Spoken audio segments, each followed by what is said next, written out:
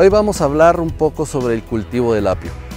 Es una planta que hemos venido produciendo en el estado de Guanajuato ya desde hace algunos años, con bastante éxito ya que se ha adaptado muy bien a las condiciones ambientales de la región durante prácticamente todo el año.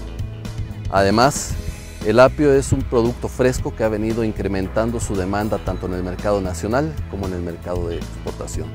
Hoy por hoy podemos encontrar apios producidos en Guanajuato en prácticamente todo Norteamérica.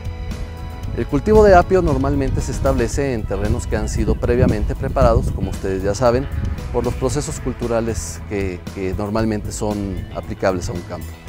El barbecho, la rastra, el corte de surco, un abonado de fondo, para posteriormente colocar las líneas de riego del sistema de goteo.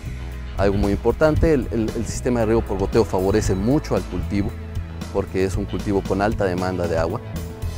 Y una vez que ha sido colocado el sistema de riego, procedemos a plantar.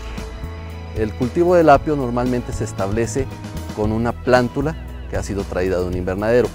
El ciclo de cultivo dura alrededor de 110 a 120 días, tiempo durante el cual le procuramos todos los cuidados que son necesarios para llegar al punto que estamos viendo en este momento, que es un apio prácticamente listo para la cosecha.